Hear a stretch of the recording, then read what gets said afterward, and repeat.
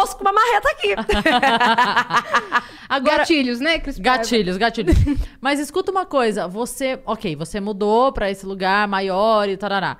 Você tem planos de arrumar alguém, de estar com alguém? Você pensa em casar ou não é um plano pra tua vida? Cara, eu, eu penso, não é uma coisa que eu estou, tipo, atrás, sabe? Tipo, quero, quero, preciso de um homem. Mas já tô, já tô com 36. Não parece, não. Assim, primeiro, gente, o que que acontece? Agora que eu acabei de me mudar e vai ter piscina, eu quero aproveitar. Quero fazer essa suruba do Felipe. Mas vai chamar os quero amigos. ficar um tempo solteiro. Você quer ser muito Felipe antes de virar Verônica. Entendi. Mas eu acredito que, que vai chegar uma hora que eu vou querer ficar mais de boa, assim, sabe? Eu acho que, assim, estar solteiro no meio de uma pandemia é uma coisa muito difícil, né? Porque você tá solteiro quando você tem uma balada pra ir, quando você tem um barzinho, quando você pode ir. E Karaokê. encontro. É. Eu postei essa madrugada alguns karaokês nossos. Eu vi Relembrando. É, É, tem, então. tem a gente cantando. E a gente- e eu É canto muito mal.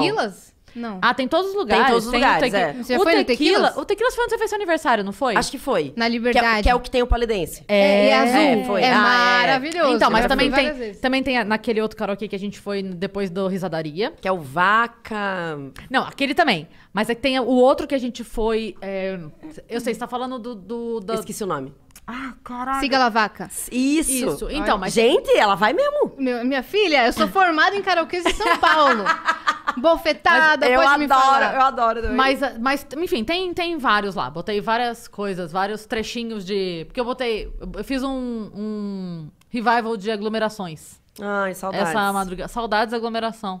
Inclusive, uma, uma das coisas que eu passei e vi pra caramba foi a- o México, a nossa viagem Ai, pro. México. Como é que foi esse perrengue louco aí? Vocês vocês foram lá fazer um show, só que pra Não, passear... Não foi show, uma gravação. A gente foi fazer uma gravação. Ah, é, desculpa, uma Não, gravação. Não foi perrengue, foi tranquilo, sim. É que foi Foi rápido. pegada. Isso, é. É, essa é. pegada, tipo, ah, vocês têm um dia pra... Vocês têm um dia pra passear e é isso, gente. Vai, passeia, caralho. Corre, corre, corre. Mas não sabe assim- se vai no cemitério do Chaves, se, É, vai no- se exatamente. bebe tequila. A gente deu uma volta na cidade, tomamos um drinkzinho na praça. A gente Você foi naquele restaurante que a gente deixou o rim. Que era a, gente... casa da Frida. Frida Kahlo. Na frente da Aí casa. é É, bom. Na frente da casa. Não, era dentro da casa. Eu lembro quando eu vi o filme, ela morou lá. Ah, foi naquela lá? Aham, aham. Então, então, peraí. Aquele... Não, isso, isso foi muito legal. Por isso a inclusive. gente pagou o rim naquele Foi, prato? foi. Ah, A gente tava tá. pagando pra Era Frida. por isso que tava... Entendi. memoriam. Não, porque foi o rim mesmo, assim. É, a gente gravou, ganhou, comeu e veio embora. Foi o que... Mas sabe que eu sempre, tipo, todas as viagens que eu fiz, eu sempre fui com dinheiro muito, muito contado, assim. Sempre fiquei nos hotéis muito vida louca. Tipo, cara, quero viajar, vamos.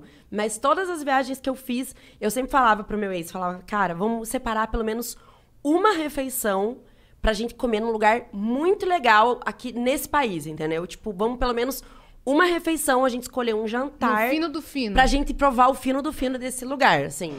E às vezes a gente gastava em uma refeição o que a gente tinha gastado, pra, tipo, pra comer a 15 semana. É, é bem. Porque às vezes vai num lugar caro mesmo. Mas você tava falando de... Mas eu acho que vale a pena, cara. Vale. Eu- Vale. Não, é que eu acho que gastar com comida. É, gastar com comida pra mim Só, é do só caralho. a gente lembrar o, o tempo que o Vitor Sarro demorou pra entender o que, que era colher, já vale a pena.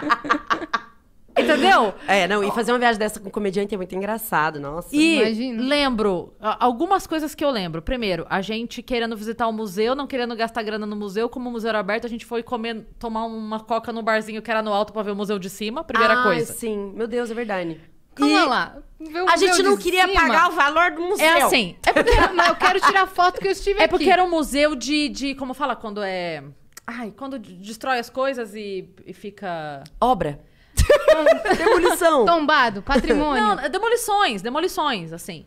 Então era uma grande Ah, é verdade, área, é verdade, era uma é grande verdade. área de uma demolição. Claro, tinha a parte de baixo pra visitar, mas a, a parte da demolição era céu aberto. E daí? A gente, Aí a gente tem olho chegou- pra enxergar, entendeu? Aí a gente chegou até uma parte e dava pra ver. Dali pra lá não dava pra ver. Aí nós olhamos, tinha um restaurante num prédio lá em cima. A gente falou, e se a gente tomasse uma coca naquele